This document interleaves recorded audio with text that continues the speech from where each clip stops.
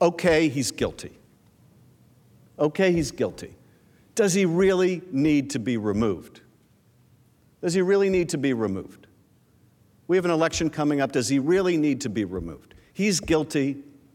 You know, is there really any doubt about this? I mean, do we really have any doubt about the facts here? Does anybody really question whether the president is capable of what he's charged with? No one is really making the argument Donald Trump would never do such a thing. Because, of course, we know that he would, and of course, we know that he did. It's a somewhat different question, though, to ask okay, it's pretty obvious whether we can say it publicly or we can't say it publicly. We all know what we're dealing here with this president. But does he really need to be removed? And this is why he needs to be removed. Donald Trump chose Rudy Giuliani over his own intelligence agencies. He chose Rudy Giuliani over his own FBI director. He chose Rudy Giuliani over his own national security advisors. When all of them were telling him this Ukraine 2016 stuff is kooky, crazy Russian propaganda, he chose not to believe them, he chose to believe Rudy Giuliani. That makes him dangerous to us, to our country. That was Donald Trump's choice. Now, why would Donald Trump believe a man like Rudy Giuliani over a man like Christopher Wray? Okay? Why would anyone in their right mind believe Rudy Giuliani over Christopher Wray?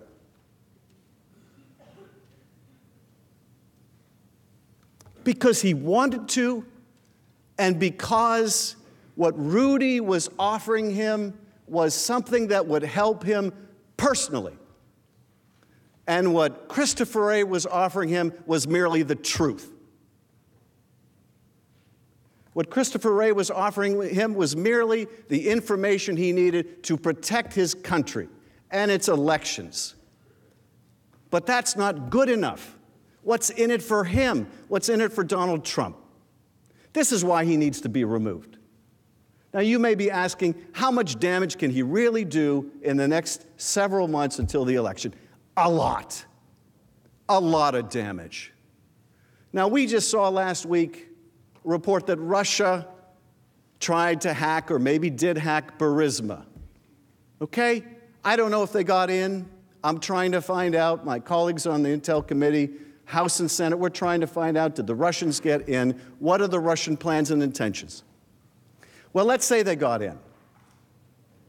And let's say they start dumping documents to interfere in the next election. Let's say they start dumping some real things they hacked from Burisma. Let's say they start dumping some fake things they didn't hack from Burisma, but they want you to believe they did. Let's say they start blatantly interfering in our election again to help Donald Trump. Can you have the least bit of confidence that Donald Trump will stand up to them and protect our national interest over his own personal interest? You know you can't, which makes him dangerous to this country. You know you can't. You know you can't count on him. None of us can. None of us can. What happens if China got the message? Now, you can say, well, he's just joking. Of course, he didn't really mean China should investigate the Bidens. You know that's no joke. Now, maybe you could have argued three years ago when he said, hey, Russia, if you're listening, hack Hillary's emails. Maybe you could give him a freebie and say he was joking. But now we know better. Hours after he did that, Russia did, in fact, try to hack Hillary's emails. There's no mulligan here when it comes to our national security. So, what if China does overtly or covertly start to help the Trump campaign? You think he's going to call him out on it? Or you think he's going to give him a better trade deal on it?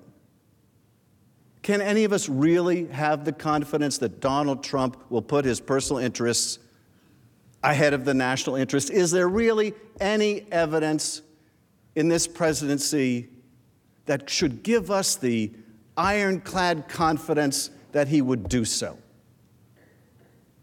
You know you can't count on him to do that. That's the sad truth. You know you can't count on him to do that. The American people deserve a president they can count on to put their interest first. To put their interest first. Colonel Vindman said, Here right matters. Here right matters. Well, let me tell you something. If right doesn't matter, if right doesn't matter, it doesn't matter how good the Constitution is. It doesn't matter how brilliant the framers were. It doesn't matter how good or bad our advocacy in this trial is. Doesn't matter how well written the oath of impartiality is. If right doesn't matter, we're lost. If the truth doesn't matter, we're lost. The framers couldn't protect us from ourselves if right and truth don't matter. And you know that what he did was not right. You know, that's what they do in the old country that Colonel Vindman's father came from, or the old country that my great grandfather came from, or the old countries that your ancestors came from, or maybe you came from. But here, right is supposed to matter. It's what's made us the greatest nation on earth. No constitution can protect us. Right doesn't matter anymore. And you know you can't trust this president do what's right for this country. You can trust he will do what's right for Donald Trump. He'll do it now. He's done it before. He'll do it for the next several months. He'll do it in the election if he's allowed to. This is why, if you find him guilty, you must find that he should be removed. Because right matters. Because right matters. And the truth matters. Otherwise, we are lost.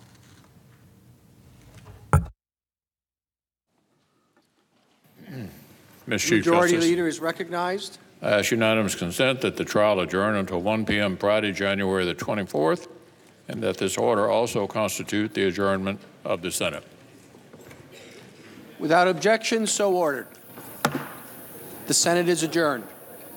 Is that right?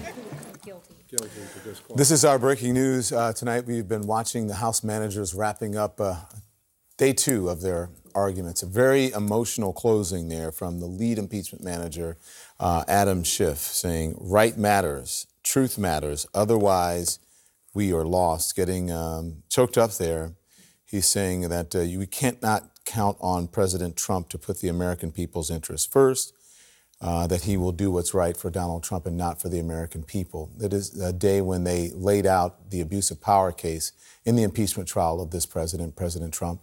This is CNN Tonight. I'm Don Lemon. Thank you so much for joining us uh, and staying up late and uh, going through this very long day here. It's been going all afternoon and all night. A lot of the strongest moments coming from Democrats playing back sound bites from the, the close, uh, close Donald Trump allies like Lindsey Graham and Rudy Giuliani and sworn testimony from diplomats Bill Taylor and Gordon Sondland and David Holmes. House managers return tomorrow afternoon at 1 p.m. You heard um, uh, the Senate Majority Leader saying that, um, as well as uh, Justice Roberts as well. Uh, Team Trump currently set to begin their arguments Saturday. CNN learning that uh, right now they expect to use two days, not three. Sometime next week comes the next phase, 16 hours for senators to ask questions through the Chief Justice. John Roberts. And only after that, the vote on the big question and all this, whether to call witnesses. So let's bring in now John Dean.